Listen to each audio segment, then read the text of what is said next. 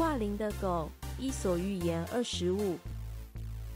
有一位商人养了一条狗，那条狗常常会挣脱绳子、笼子，跑到外面来咬伤过往的行人。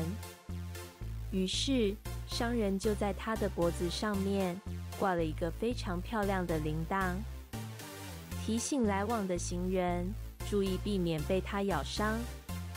有一天，这一条会咬人的狗又跑到外面，并且洋洋得意地对另外一只狗说：“你看，我身上的铃铛是不是非常漂亮呀？”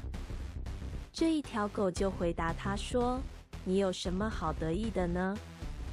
你身上的铃铛并不是勋章，铃铛是为了表示你作恶多端，常常咬人。”他是在警告我们：“你来了，要我们赶快离你远一点，不要被你伤害。”这个故事在告诉我们：华丽的外表掩饰不了丑陋的真面目，美德才能赢得大家的赞许。